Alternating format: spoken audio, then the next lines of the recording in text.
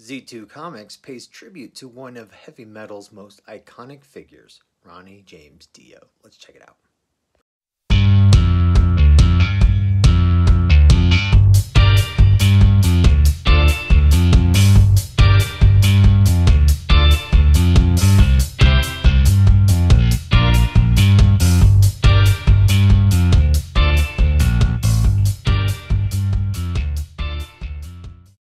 Hello, and thank you for joining me for issue number 13 of On the Shelf. I'm Simon, editor in chief of ConstantCollectible.com. Today, we discover that Z2 Comics publisher teams with the Dio estate for the official graphic novel adaptation of the beloved classic album Holy Diver and the artwork it inspired. Z2's 2021 lineup begins to roll out with news of what is sure to be one of the publisher's most anticipated projects yet the Holy Diver graphic novel creating an original storyline inspired by one of heavy metal's most iconic album covers. This announcement brings news that acclaimed horror comics writer Steve Niles will tell the tale behind the events leading up to the powerful moment captured on the cover of Dio's debut album, definitive, definitively addressing 30 years of fan speculation. Why is the priest being thrown into the ocean? Who is the, truly the villain in this scenario? All of the questions are exclusively answered for the first time within the pages of this 120 page graphic novel. Steve Niles tells the story behind the album cover Holy Diver, a story about how you can't judge a picture by the way it appears, which in what what Ronnie wrote.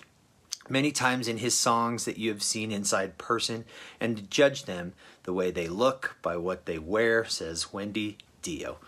Together with Scott Hampton's amazing artwork, they tell the story of Holy Diver, and I know Ronnie would have given his stamp of approval on this great graphic novel.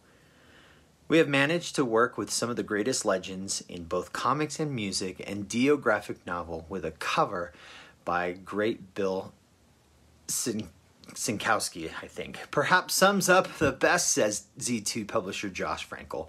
This is one of the most iconic heavy metal album covers in history.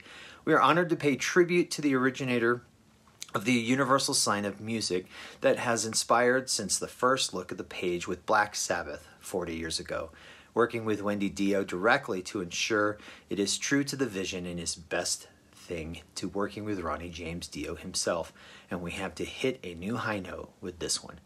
In reverence, Steve Niles says, I'm so excited to be writing this book. I hope I do Ronnie James Dio justice. Dio, Holy Diver, reunites Steve Niles with Gotham County line artist Scott Hampton for an all new original story inspired by the original iconic album art by Gene Hunter and Randy Berrett. Two editions are available for pre order now, both the standard graphic novel as well as the limited deluxe edition, the full details in which will be revealed within the coming weeks. The deluxe edition will include an exclusive vinyl edition of this classic album, and both are available for pre order now through Z2's website. Dio's Holy Diver release in summer of 2021. And that brings us to a close for this issue of number 12 of On the Shelf. More can be found on our website, where you can find all the news and reviews from a world of geek culture. Our email is constantcollectible at gmail.com, and we'll be back next week where we'll find out what's on the shelf.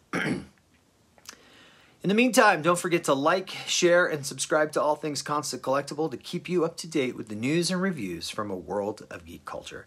Again, I'm Simon from Constant Collectible. Thanks for listening, and we'll see you next day.